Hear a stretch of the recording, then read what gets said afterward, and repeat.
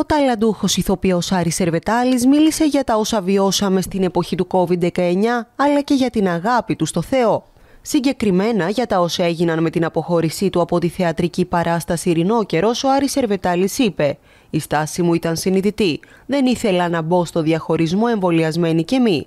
Ανακοίνωσα αυτό που είχα ήδη προαναγγείλει στην παραγωγή και αποχώρησα αποδείχτηκε ότι τελικά δεν είμαστε τόσο ελεύθεροι, γιατί αν ένας πει κάτι αντίθετο από τη γενικότερη κοινή άποψη, δεν γίνεται αποδεκτό στην πράξη. Δεν είμαστε τόσο ελεύθεροι όσο θέλουμε να πιστεύουμε ότι είμαστε, γιατί όλοι μιλάμε για τα δικαιώματα των ανθρώπων και την ελευθερία λόγου.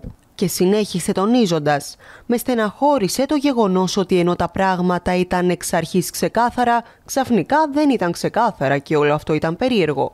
Δεν θέλω να το ξεχάσω γιατί ήταν τόσο αποκαλυπτική αυτή η περίοδος. Ήταν μάθημα ζωής ως προς τη δύναμη του όχλου.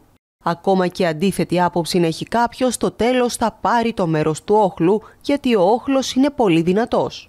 Για τη σχέση του με την πίστη και το Θεό, ο Άρης Σερβετάλης σημείωσε «Ο άνθρωπος είναι κατασκευασμένος να πιστεύει, γνωρίζοντας την Ορθοδοξία. Άλλαξα ως άνθρωπος, βλέπω τη ζωή με έναν τελείως διαφορετικό τρόπο. Η Ορθοδοξία δεν είναι θρησκεία, είναι αποκάλυψη. Όταν κάποιος φτάνει σε σημείο που δεν έχει να πιαστεί από κάπου, έρχεται η πρώτη γνωριμία με τη θρησκεία. Ήμουν σε τέλμα λόγω καταστάσεων και σε αυτή τη δύσκολη περίοδο ψάχνεις να βρεις τι είναι αυτό που θα δώσει νόημα στη ζωή σου. Η Ορθοδοξία μου έδωσε απαντήσεις για το νόημα της ζωής. Μου απαντήθηκαν πράγματα πολύ βασικά για την ψυχοσύνθεσή μου.